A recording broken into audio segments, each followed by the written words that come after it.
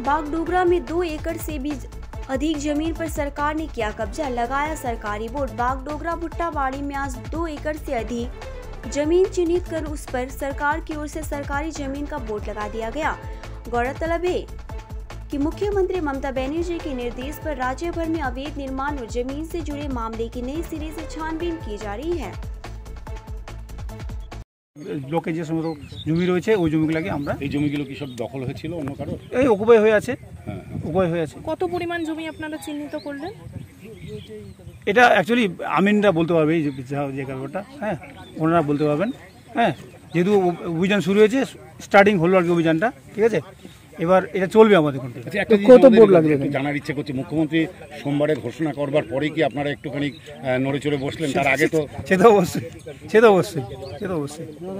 তো কত বোর্ড লাগাবেন আজকে? না আজ শুরু করলাম তো আজকে একটা একটা লাগালাম ঠিক আছে? পরবর্তীতে আর কোন পরবর্তীতে পরবর্তীতে আমাদের পরবর্তীতে যে আমাদের প্রোগ্রাম আছে সেই প্রোগ্রাম ওয়াইজ হবে আর। ডিআই ফান্ডের ল্যান্ডও কি এই এই আওতায় আসছে আপনাদের উচ্ছেদের ঠিক বলতে পারছেন আমি।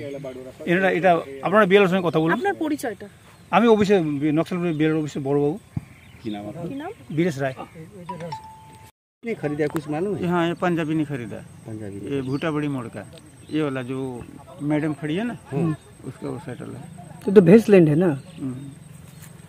आपका नाम मेरा नाम शंकर है अब इधर अगल बगल में ही है क्या वो घर हाँ शंकर साहब शंकर साहब आपका घर कहाँ है घर ही आगे सामने मैं इधर बकरी की चलाते रहता हूँ टाइम पास हो जाता है उम्र में क्या करूँ वही तो ठीक है ठीक है